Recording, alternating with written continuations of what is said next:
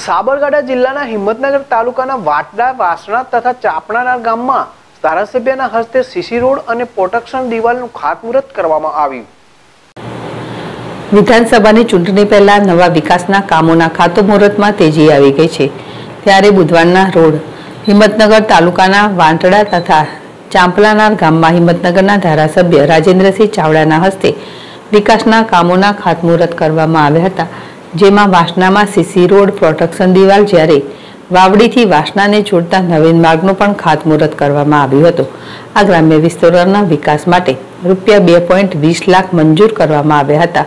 આ પ્રસંગે રાજકીય આગેવાનો, સરપંચો દ્વારા પંચાયતો સભ્યો, ભારતીય જનતા પાર્ટીના કાર્યકરો સહિત મોટી સંખ્યામાં ગ્રામજનો હાજર રહ્યા હતા. વિશાલ પટેલ, જેડેશ ટીવી ગાંભોઈ